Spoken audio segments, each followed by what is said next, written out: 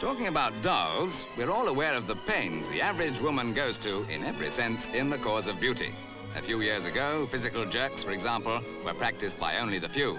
Today, they're only part of what has become a highly organized war on such nightmarish afflictions, to women that is, as double chins and crow's feet round the eyes. At Knebworth in Hertfordshire, we called in at Britain's only beauty farm, where relaxation as well as exercise is part of the treatment and where the butler service gives the housewife a chance to forget the strain of everyday life. Let's be honest with ourselves and admit the average housewife does need to relax once in a while and enjoy the luxury of a foam bath, for example. A 30-minute soak, both as an aid to slimming and for toning up purposes. No, this is not what's generally meant by a wash and brush up.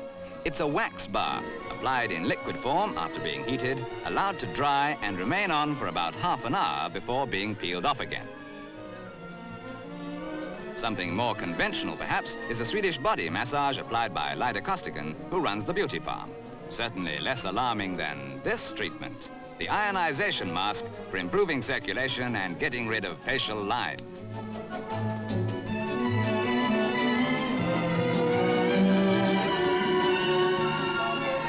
Another of the novel techniques employed by Leida Costigan is a vacuum cup for breaking down fat tissues. Small wonder she had to travel half the world to acquire such knowledge. Physical culture and ballet in Vienna, body massage in Sweden, face massage in Paris, and beauty therapy in London. Meanwhile, the ionization mask makes way for a facial uplift. Something that requires no effort at all and consequently will appeal to every woman is this slimming couch. The fat is just beaten to death.